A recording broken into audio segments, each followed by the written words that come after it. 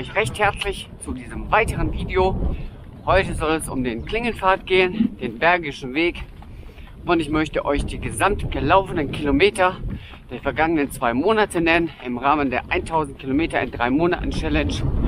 Ich hoffe, der Ton ist in Ordnung. Ich habe da äh, so ein kleines äh, ja, Stück, Stück Stoff quasi drum gemacht mit einem Haargummi und hoffe damit den Ton bzw. die Windgeräusche so ein bisschen zu reduzieren.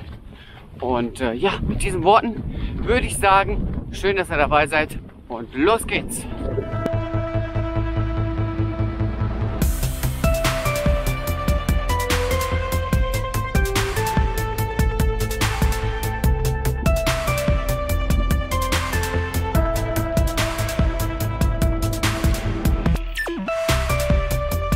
Jetzt habe ich hier dieses, äh, ja, dieses Konstrukt hier äh, parallel zur Nordbahntrasse entdeckt.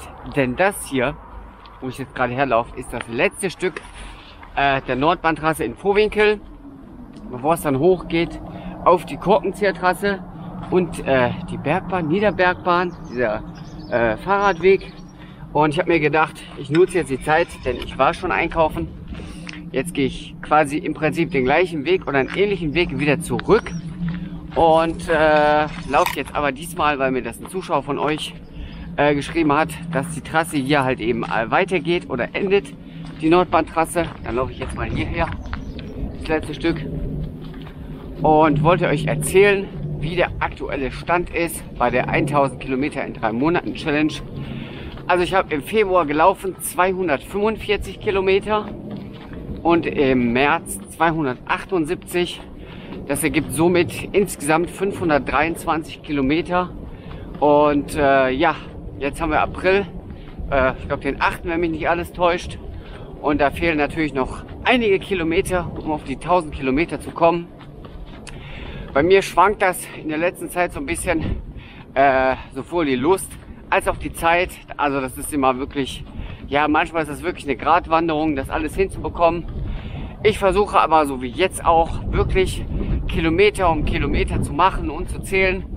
Und äh, ja, wenn ich schlussendlich dann irgendwann bei 700 oder vielleicht sogar bei 800 Kilometer lande, bin ich mehr als zufrieden. Und äh, ich hatte ja immer mal wieder gesagt, diese 1000 Kilometer, das war ein Ziel, was ich mir fix in den Kopf gesetzt hatte.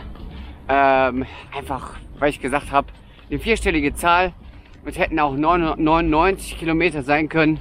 Das wäre psychologisch vielleicht noch ein bisschen einfacher. Aber 1000 Kilometer in drei Monaten, das ist so ein schlagfertiges, ja, so eine schlagfertige Challenge. Und ich bin sehr gespannt. Ich werde am Ende äh, des Monats nochmal ein separates Video machen, wo ich euch dann explizit dazu aufrufe, mir dann eure Ergebnisse zuzusenden. Ob nun per E-Mail, per Instagram-Message äh, oder in einem Kommentar, ist vollkommen egal. Und dann werde ich da raus ein äh, ja, Ergebnisvideo oder wie auch immer man das nennen mag, machen. Und ihr seht, hier fahren die Züge entlang Richtung Düsseldorf und Hagen und sowas alles, Richtung Rüten, Solingen, Köln. Ganz interessant, auch Vera hier, die äh, stellen hier ja, Werkzeuge her. Ich bin noch nie hierher gegangen. Ich habe es auch immer nur von der Bahnstrecke gesehen, weil ich halt eben, das ist so mein regulärer Fahrtweg zur Arbeit. Und äh, ja, damit habt ihr auf jeden Fall schon mal das Update bekommen. So 1000 Kilometer in drei Monaten Challenge. Äh, wie gesagt, ich bleibe da auf jeden Fall dran. Und jetzt geht es erstmal weiter über den Rest der Nordbahntrasse.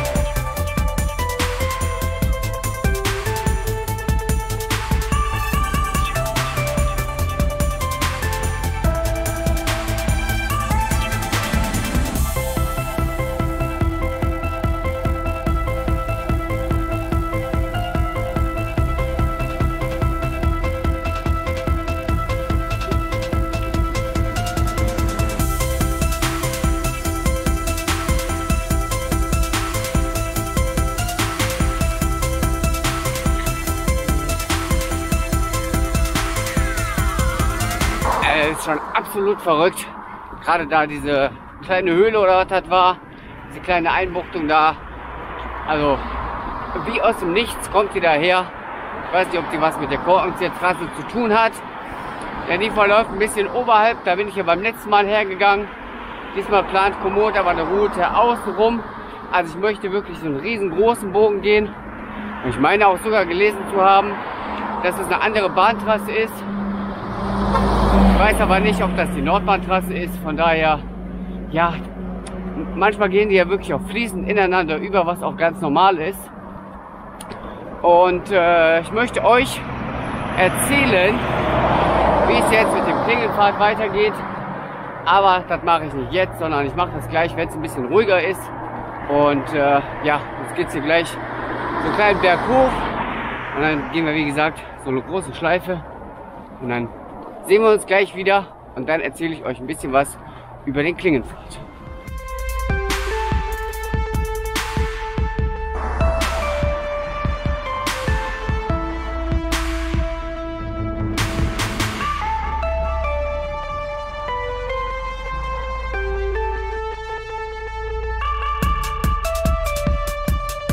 So, und damit begrüße ich euch auf der historischen Straßenbahntrasse von Benrath nach Vohwinkel.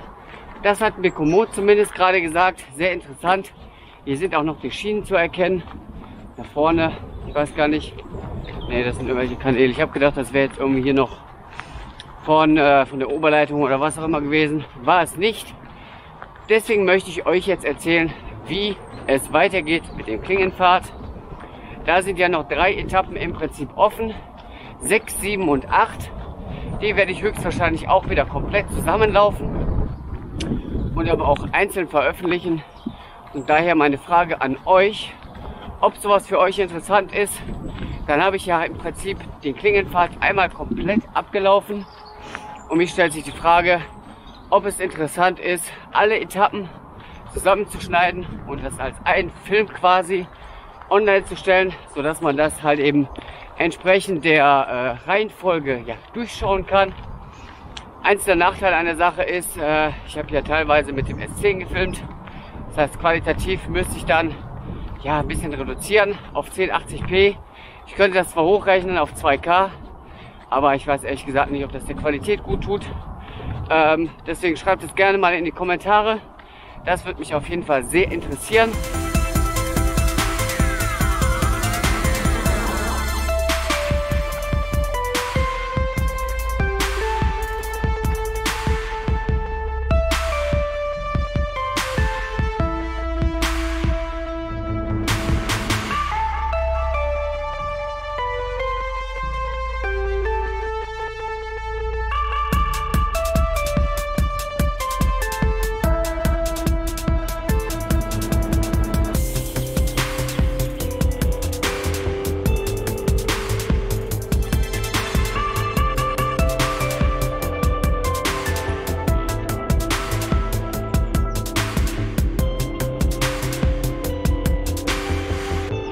Ja, und damit heiße ich euch recht herzlich willkommen auf dem Bergischen Weg der Etappe Nummer 3 Richtung Grefrath. In den laufe ich allerdings, wie ihr wisst, nur ein kleines Stück und möchte euch erzählen, dass ich mit dem Jörg auf Kanal Jörg unterwegs die vierte Etappe des Bergischen Weg gewandert bin.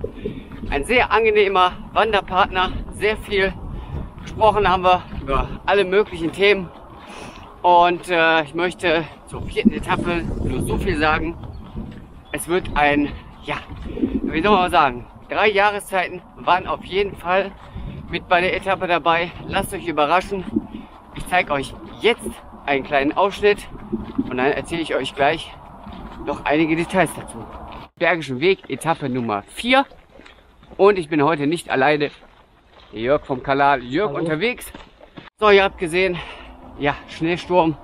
Da war alles dabei. Sonne, Schnee, Regen war glücklicherweise keiner dabei. Da ich, äh, ja, was Regenschuhe angeht, nicht besonders gut ausgestattet bin. Soll jetzt aber auch nicht das Problem sein. Und äh, dieses Video wird höchstwahrscheinlich dann Anfang der nächsten Woche online gehen. Ähm, dann verschiebe ich den Klingenpfad, die Etappe 4, halt eben um äh, ein paar Tage oder wie auch immer. Vielleicht gehen die auch beide gleichzeitig online.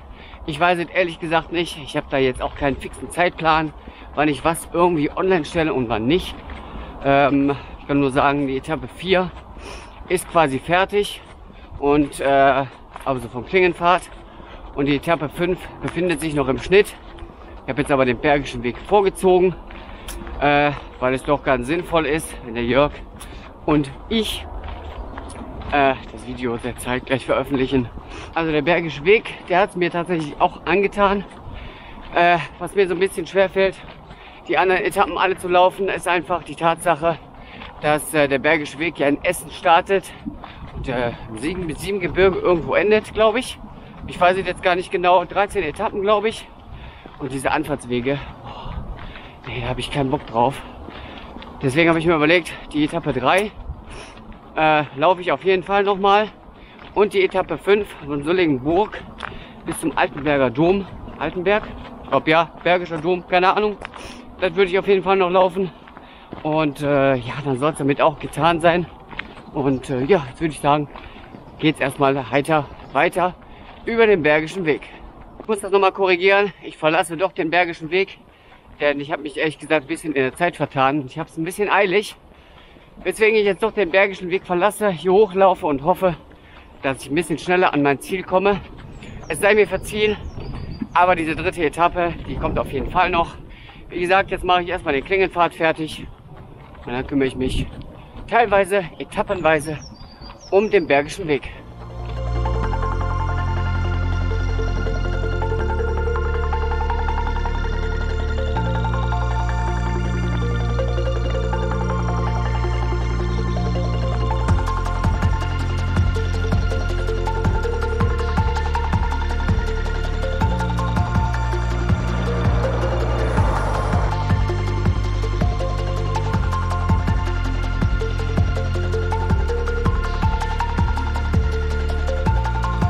Damit begrüße ich euch dann jetzt auch auf der Korkenziehertrasse. Ich befinde mich dann jetzt nun schlussendlich auf Solinger Stadtgebiet. Das war der Auf und Ab gerade, ey. Mann, Mann, Mann. Also guckt euch mal die Strecke bei Komoot an. Das ist absoluter Zickzack. Ich habe versucht, das ein oder mal, andere Mal abzukürzen, aber so richtig funktioniert hat es nicht. Hätte ich lieber mal auf Komoot gehört. Ich habe auch extra nochmal mit Google äh, nachgerechnet, ob der nicht nochmal eine schnellere Route für mich hat. Hat er leider nicht. Deswegen laufe ich jetzt weiter den Weg entlang, den Komoot mir vorschlägt. Äh, jetzt verlassen wir hier gleich an diesem Bahn, an diesem Bahn, wie heißt denn das Ding jetzt, ey? An diesem an dem Waggon verlassen wir jetzt gleich die Trasse wieder und laufen dann im Prinzip einmal hoch durch den Botanischen Garten. Und dann bin ich an meinem Zielpunkt schon. Äh, ja, also ich habe ja gesagt, normalerweise gucke ich immer, wie viel Zeit ich habe. Und dann kann ich ungefähr abschätzen, wie viele Kilometer ich schaffe. Das ist heute mal ordentlich in die Hose gegangen. Äh, ist jetzt auch kein Weltuntergang. Aber ich hasse es halt, unpünktlich zu sein. Und äh, ja, genau hier ist dieser Waggon. Den zeige ich euch mal. Da ist normalerweise ein Restaurant drin. Glaube ich. Oder war mal. Ich weiß es gar nicht genau. Auf jeden Fall jetzt nicht mehr. Schon länger nicht mehr. Das habe ich mal gelesen. Hier geht auch der Wanderweg W her rund um Wald. Und äh, ja, wie gesagt, ich verlasse jetzt hier die Korkenziehertrasse und verweise nochmal auf mein Komoot-Profil. Vergesst da nicht zu abonnieren, falls euch die Strecken interessieren, die ich so laufe. Und äh, falls ihr es noch nicht getan habt, könnt ihr natürlich auch gerne den Kanal hier abonnieren. Und äh, ja, mit diesen Worten bedanke ich mich recht herzlich bei euch fürs Zusehen. Vergesst nicht, Etappe 4, absolutes Highlight. Und mit diesen Worten bedanke ich mich dann recht herzlich bei, für, bei euch fürs Zusehen. Und wir sehen uns garantiert im nächsten Video. Bis dahin, euer Jörg. Ciao.